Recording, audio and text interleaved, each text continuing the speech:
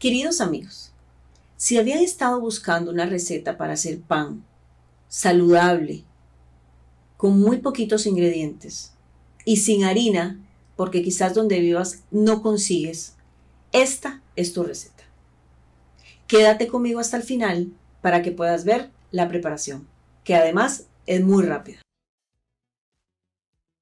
Acá es tan fácil como colocar todos los ingredientes en la batidora. Colocamos huevo, aceite, un poco de sal, nuestro plátano ya pelado y cortado, estamos usando plátano macho o plátano verde, además agregamos polvo de hornear y pimienta al gusto.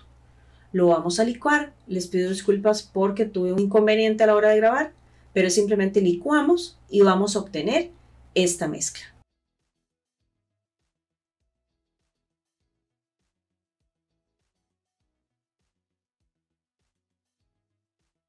Ahora le vamos a agregar una cucharada de chía que nos viene genial, ayuda muchísimo a nuestro cuerpo y además se va a ver muy bonito.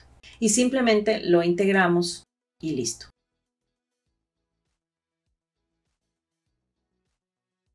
El molde engrasado, enharinado, yo coloqué papel de horno para que sea más fácil a la hora de desmoldar.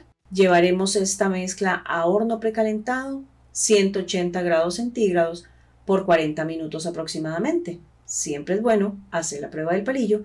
Metemos un cuchillito también, pero hay que estar seguros. Vamos a dejar que enfríe totalmente antes de partir. Aunque yo no hice tanto caso. El mío todavía estaba un poquito caliente, pero ya no me aguantaba las ganas de mostrarles cómo quedaba este delicioso pan. Es un pancito bastante tierno que combina bien con muchas cosas. Aguacate, frijol, jamón, quesito. Está muy rico y muy saludable. Espero que lo prepares en tu casa, que lo tengas en tu lista de recetas favoritas. Si no te has suscrito, te invito a que lo hagas para que me sigas ayudando y apoyando en el canal para que semana a semana pueda traer una nueva receta para ti.